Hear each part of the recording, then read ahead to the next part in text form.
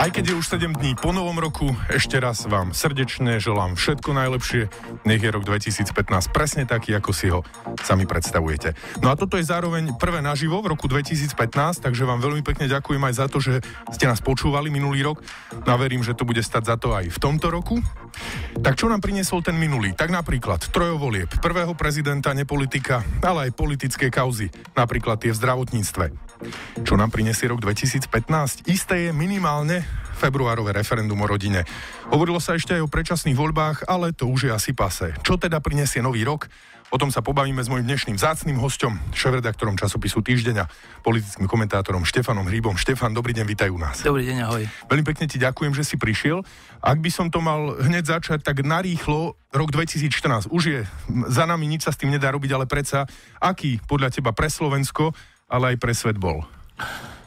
Tak e, začnem Slovenskom. Myslím, že najdôležitejšia vec, čo sa na Slovensku udiala, e, bola veľmi prekvapujúca a bola to vec, ktorá tak trocha ukázala, že my všetci, ktorí sa zaoberáme tým, čo sa na Slovensku deje, všelijakí politickí komentátori, novinári, analytici, e, toho veľa nevieme. E, hovorím o voľbe prezidenta, keď všetci, takmer všetci hovorili, že, že nikto proti Ficovi nemá šancu a ak niekto, tak to určite nebude Kíska, možno to bude Procházka, možno niekto a boli to veľmi také mudrácké reči. A potom sa ukázalo, že Andrej Kiska vyhral veľmi vysoko a ukázalo sa, že ako sa mnohí ľudia veľmi mýlili aj v tom, že že on bude vlastne neskúsený a nebude vedieť robiť politiku a nebude vedieť zvládnuť tú úlohu.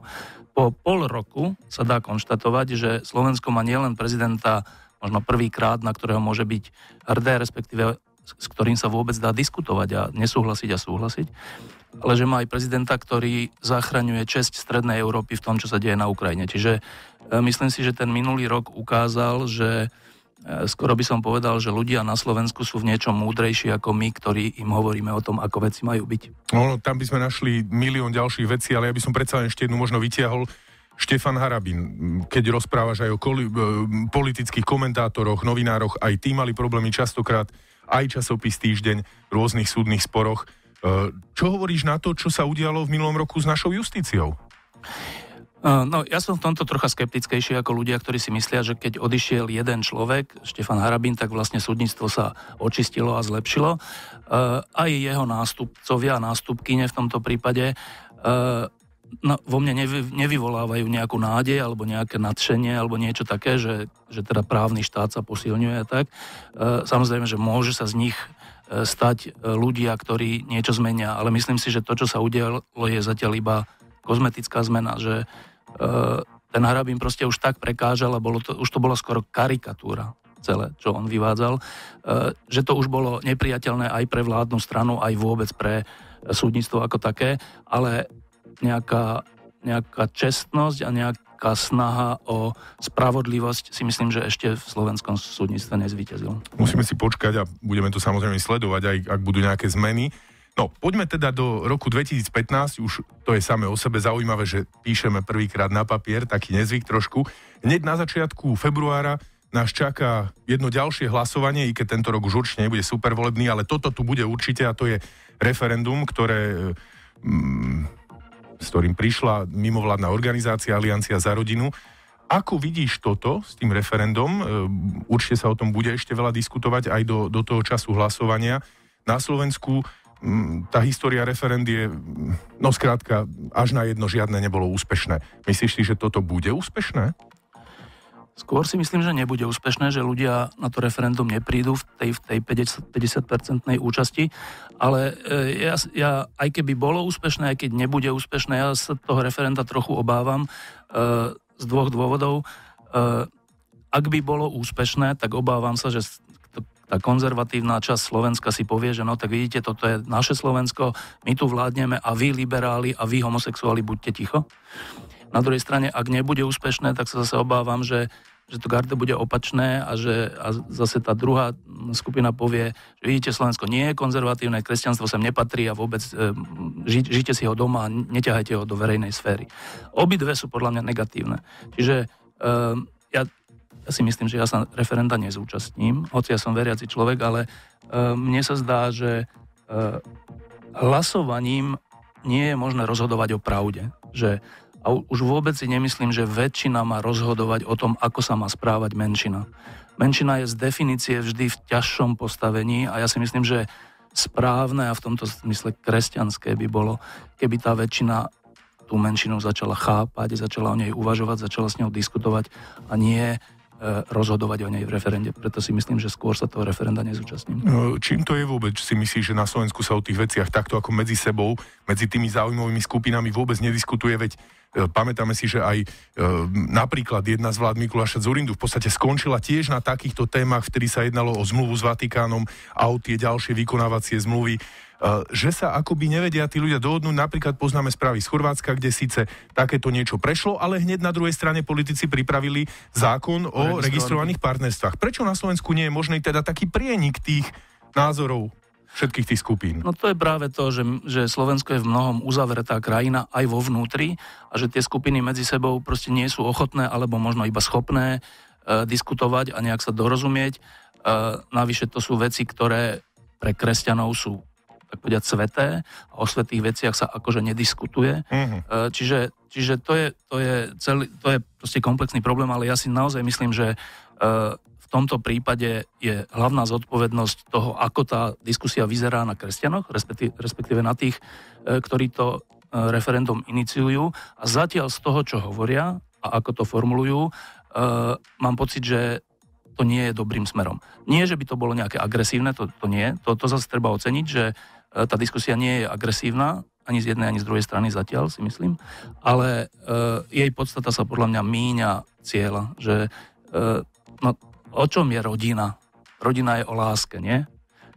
Máš pocit, že diskusia o referende je o láske? Ja teda nie. V tejto chvíli to veru tak nevyzerá, ale skúsime samozrejme aktérov ešte zavolať aj tu do štúdia a trošku s nimi o tom hovoriť. Uvidíme, ako to celé dopadne. Poďme na, na inú otázku.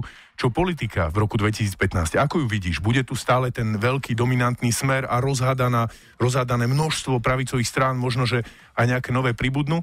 Ako vôbec si prijal tú tú myšlienku, ktorá sa tu tak pohybovala pred koncom roka o nejakých predčasných voľbách, o tom, že, že Fico položí vládu a môže aj odísť? To sú také politické hry, ktoré, ktoré už 20 rokov tu bežia, ale netreba im dávať žiadnu vážnosť.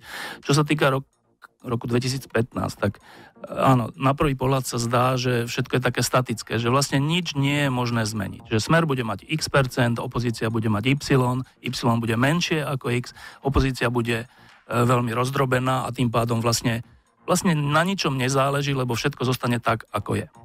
Ale znovu sa vrátim k tej voľbe e, prezidenta, že myslím si, že za tých 25 rokov slobody sa na Slovensku vygenerovalo veľmi veľa zaujímavých ľudí, veľmi veľa zaujímavých nápadov a taký priestor nejakej tvorivosti.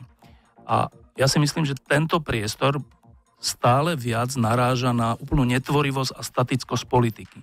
A výsledkom podľa mňa bude to, e, bude to prekvapenie, že e, skôr alebo neskôr, tak ako bol vygenerovaný nový prezident, tak tento priestor vygeneruje aj nejakú politickú ponuku. Čiže dnes sa zdá, že je to beznádejné, všetko zostane tak, ako je, ale ja si myslím, že to tak nie je, že nádej je stále väčšia, hoci ju ešte nevidíme, ale neviem, či to bude teda, že nová strana mm-hmm. alebo niečo, ale myslím si, že konečnom dôsledku ten priestor slobodných a tvorivých ľudí vygeneruje alternatívu k smeru. Presne tu som sa chcel aj opýtať, že, že čo to vlastne môže byť, lebo pri tých napríklad, pri, pri komunálnych voľbách sme videli úplne obrovské prekvapenie v Trnave, Bašte, KDH, nehovoriac o kraji, kde KDH Smer a sa tam skrátka tí politici lomia a zrazu no? tam vyhla presne tak a takisto v Bratislave.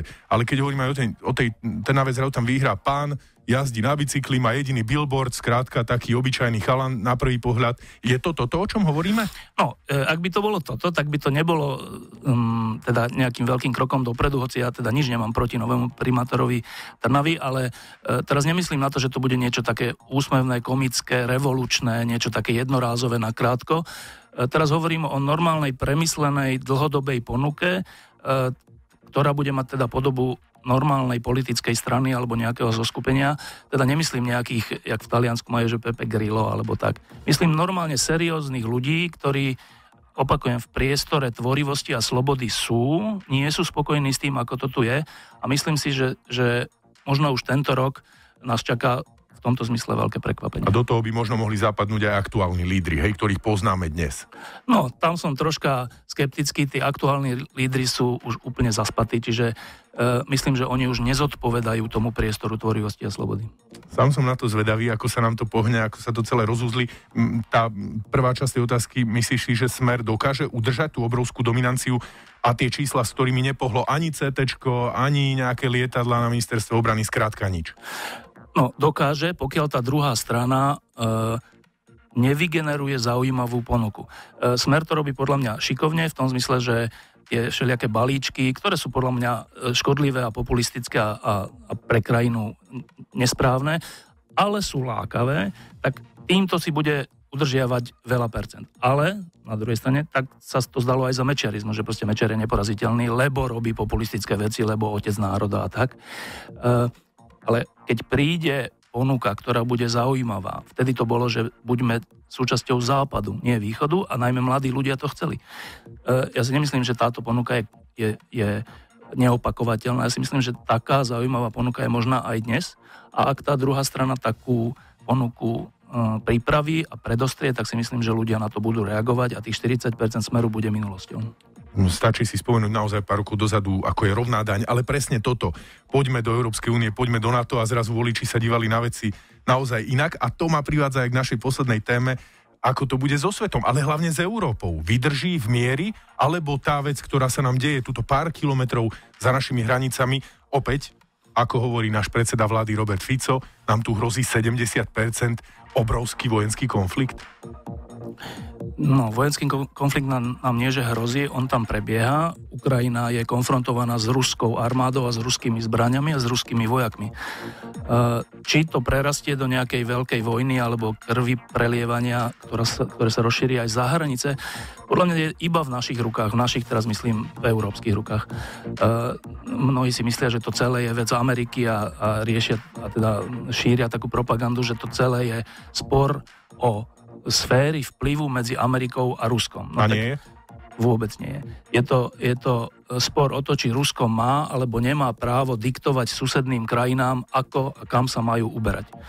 Ak my, ako Európa, e, povieme nie, ak povieme, že doba, v ktorej veľké krajiny mohli diktovať malým, kam sa majú uberať, skončila. E, a ak za tým budeme pevne stáť, mimochodom sme silnejší ako Rusko, my, Európa, sme silnejší ako Rusko, to sa na to zabúda, ale sme aj ekonomicky, aj vojensky, aj po všetkých stránkach, tak ak budeme trvať na tom, že národy a štáty si môžu slobodne vyberať svoju budúcnosť, tak nás nejaké veľké krvi prelievanie nečaká. Ak naopak budeme si myslieť, že keď budeme ustupovať, tak zabránime vojne, tak si myslím, že nás niečo také bude čakať. A to je moja presne posledná otázka, že do akej miery sme vôbec ochotní priniesť nejakú obeď, lebo teraz sme mali aj veľké výročie Slovenského národného povstania a tam sa práve o tom hovorilo, že tu boli na Slovensku ľudia, ktorí aj za cenu vlastného života boli ochotní ísť do toho, aby bojovali za slobodu a e, skrátka za, za, za tento priestor náš.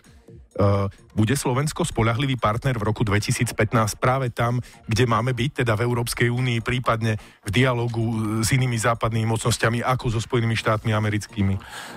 No ja dúfam, že bude. Ja si myslím, že Západ, ak stojí za to označenie, že je to teda zoskupenie slobodných krajín, ktorí si vážia jednotlivca a cenu života, že ak ešte stojíme za to, tak ja dúfam, že budeme ochotní e, prinášať aj obete za slobodu seba a iných. Ak nebudeme, tak už, ne, tak už nie sme potom západná civilizácia a nezaslúžime si ďalej pretrvať.